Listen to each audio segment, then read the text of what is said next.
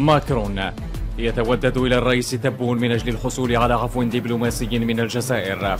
المبعوثة الخاصة ومستشارة الرئيس الفرنسي لشمال إفريقيا والشرق الأوسط كلير ليجوندر سلمت رئيس الجمهورية عبد المجيد تبون رسالة خلال استقباله لها. الرسالة تأتي ساعات قليلة عقب مبادرة ماكرون بتهنئة الرئيس تبون بمناسبة إعادة انتخابه في عهدة ثانية في رئاسيات السابع سبتمبر الجارية.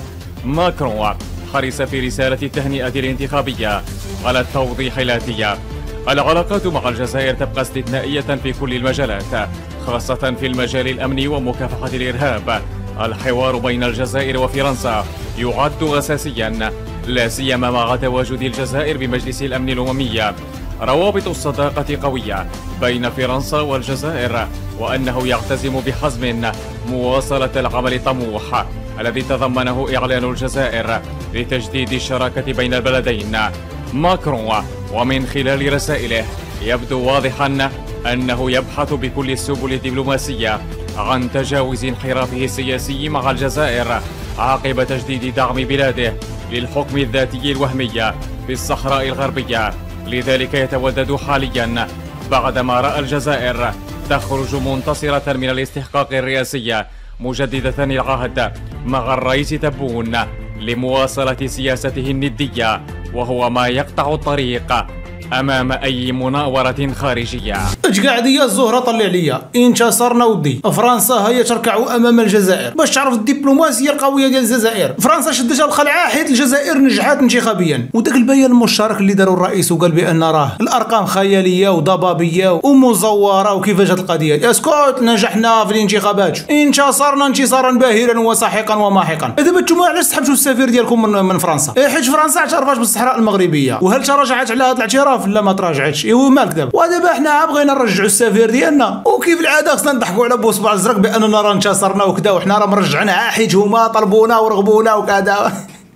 يا قلتي ما غاداش ترجعوا. حتى تراجع فرنسا على الاعتراف بالصحراء المغربية. هي مازال ما تراجعتش. علاش دابا كانت كتمهد الطريق باش ترجع السفير ديالك دون أن تتراجع فرنسا على الاعتراف بالصحراء المغربية. زعما شوفوا الجزائريين يا بو صباع الأزرق اللي ما صوتوش. ها حنا انتصرنا على فرنسا وهي تركع أمامنا وكذا. والمهم حنا نرجعوا السفير. يا ودي عرجعوا عرجعوا. راه ديما راه نتوما مولفن. مع إسبانيا سحبتوا السفير وبكيتوا تعييتوا في الآخر رجعتوه دون أن تتراجع إسبانيا على الاعتراف بالصحراء المغربية. رجع مذلولا مضحوك مدحورا كيف العادة؟ هذا ثاني يوقع على نفس المنطق. ها أنتم غادي ترجعوه مذلولا مدحورا دون أن تترجع فرنسا. الاعتراف بالصحراء المغربية. وعرجعوا ما نضحكوش عليكم عرجعوا حنا عارفينكم هداوه وطريكش بوصبع الزرق حنا عارفينكم عارفينكم عاد ترجعوه دون أي تراجع من فرنسا. وعارفينكم عاد غنقوا على بوصبع الزرق بأنكم انتصرتم وبأنهم هم يتوددون لنا. و هادي شي يتودد لي. ودي يكون تحشم ديال عقلك. عرجعوا راه ما نضحكوش عليكم عرجعوا اليوم كانوا مداخلات قوية في مجلس حقوق الإنسان. مجلس حقوق الإنسان اللي شكون الرئيس ديالو؟ المملكة المغربية. كانوا مداخلات قوية فضحوليه ما يفعله النظام الجزائري في مخيمات القياطون والعجاج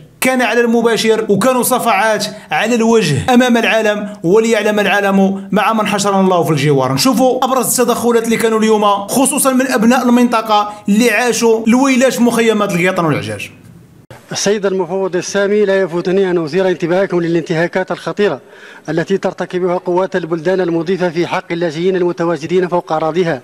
انطلاقا مما نعانيه نحن كلاجئين صحراويين بمخيمات تندوف جنوب الجزائر حيث تقدم القوات المسلحة الجزائرية منذ مطلع هذا العام على جملة من الإعدامات الميدانية لمجموعات من الشباب الصحراوي الذين تجرؤوا على مقادرة المخيمات بحثا عن لقمة العيش.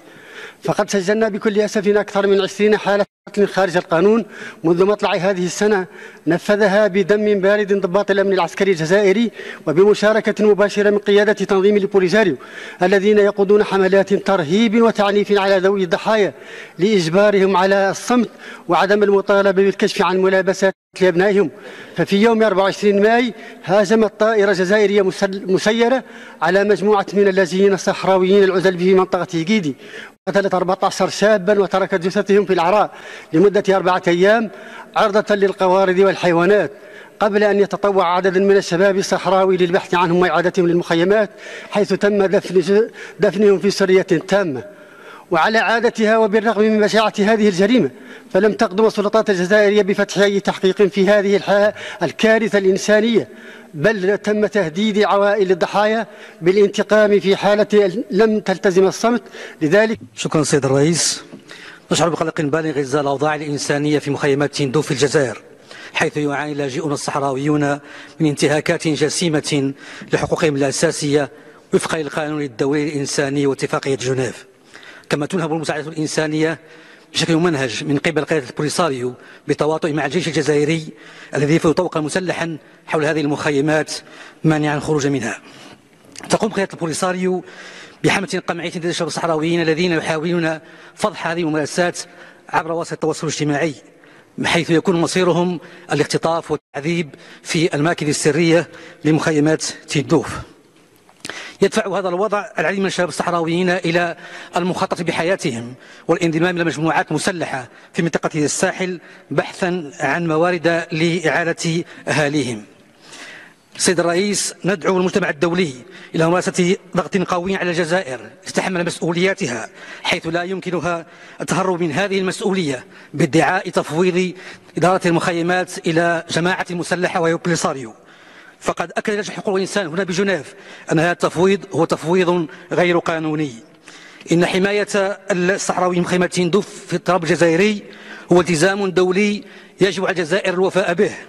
هذا الالتزام ليس خيارا بل هو واجب قانوني وأخلاقي يتطلب تنفيذا عاجلا لضمان كرامة وأمان اللاجئين الصحراويين من خيمات تندوف شكرا لكم سيد الرئيس. سيدي الرئيس على مدى خمسين سنة فإن مخيمات تندوف في الجزائر لا زالت مرتعا للانتهاكات الحقوقية المقترفة من طرف جبهة البوليزاريو المسلحة بناء على تقارير عدد من المنظمات والمؤسسات الدولية. وللأسف فإن الاختفاء القسري للصحراويين في المخيفات هي ممارسة نظمية التي تقوم بها جبهة البوليزاريو المسلحة وتستغلها من أجل تخويف المقيمين مع استهداف الأقليات والمثقفين أو المسؤولين عن النفاذ إلى البيانات المرتبطة بالانتهاكات الحقوقية المقترفة من طرف الرئاسة كما هو حال الدكتور خليل أحمد أبريح الذي كان معنيا بقرار للجنة حقوق الإنسان تؤكد ضلوع السلطات الجزائرية في اختطافه. لذلك فإننا نوصي الجزائر بإلغاء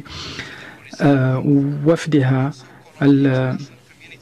مبعوث لجبهة بوليزاريو المسلحة للأغراض الإدارية والقانونية والقضائية مع ضرورة تيسير توثيق الحالات الاختطاف والاختفاء في مخيمات تندوف هذا مع ضرورة التأكيد على ضرورة توصيل الضحايا وذويهم بالحقيقة وجبر الضرر والتعويض. شكرا. الكلمة ل Réseau Unité pour le Développement de Mauritanie شكرا السيد الرئيس. أما نحن فنشكر المفاوض السامي على التقرير السنوي الشامل وعلى الرؤية التي قدمها لنا بشأن حقوق الإنسان في العالم. هذه الدورة هي الدورة السابعة والخمسين للمجلس وتسعى إلى تسليط الأضواء على ضرورة وضع حد للاختفاءات القسرية. وهنا أود أن أسترعي انتباهكم إلى مسألة ملحة. السيد خليل أحمد مجهول المصير منذ أربعين سنة واختفى في مخيم تندوف. هو مدافع عن حقوق الإنسان وكان يقيم في هذا المخيم في تندوف في جنوب الجزائر عندما اعتقل بطريقة تعسفية من مجموعة مسلحة في 2009 ومنذ ذاك بات مجهول المصير. عائلته مهمولة